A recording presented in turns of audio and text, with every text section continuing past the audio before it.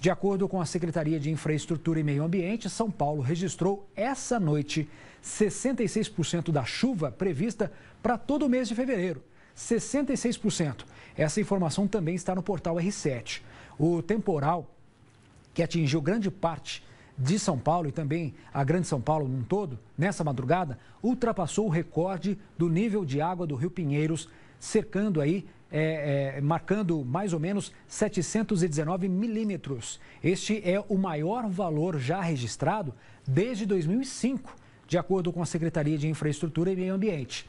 O secretário da pasta, o Marcos Penido, afirmou que os sistemas de piscinões e drenagem da cidade estão funcionando perfeitamente. Para o secretário, os pontos de alagamento registrados aconteceram porque o volume de chuva ultrapassou o que estava previsto na série histórica de 100 anos, usada para calcular o sistema de drenagem. O secretário prevê ainda a manutenção de todo o sistema quando a chuva der uma trégua, o que, de acordo com o CGE, que é o Centro de Gerenciamento de Emergências, também em São Paulo, só deve acontecer amanhã, terça-feira.